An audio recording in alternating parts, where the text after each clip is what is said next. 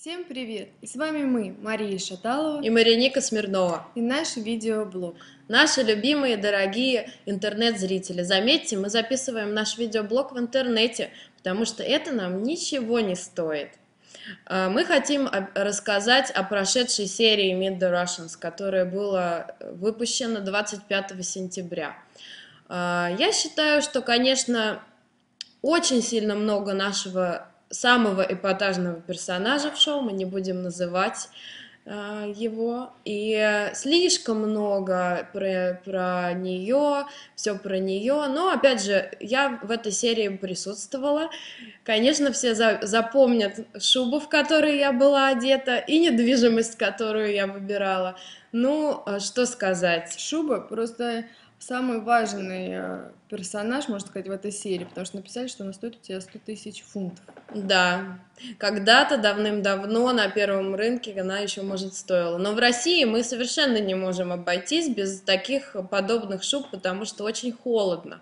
А в Лондоне я ее ни разу даже не одевала, в принципе. Просто показала, что это самый роскошный наряд в моем гардеробе. Это на самом деле так. Но их не интересовало не то, что даже шуба, а цена этой шубы, поэтому они тебя и в таком образе решили заснять. Да, ну что мы хотим сказать? Опять ажиотаж вокруг передачи, опять спрашивают, стыдно вам или не стыдно было сниматься. А, собственно говоря, почему нам должно быть стыдно? Мы добились всего сами. Мы э, свои... Из обычных семей, да. у нас небогатые родители. Нам родители не давали денег, то есть они не богатые. У нас нет богатых покровителей. Мы добились всего сами своим трудом, своими мозгами, тем, что мы упорные, и тем, что нам просто, у нас просто не было другого выбора. Почему? Когда мы приехали в Лондон, нас никто не встречал с открытыми объятиями и очень скептически отнеслись, чем мы здесь будем заниматься. Но мы доказали англичанам, что мы трудоголики. Мы стали с Мариникой моделями. Я стала известным дизайнером, выпустила уже второе fashion show на Fashion Week. Мы работаем над собой. Специально для англоязычных зрителей, надеюсь, очень скоро мы выпустим блог на английском языке. И поверьте мне, а, англичане уважают здесь русских.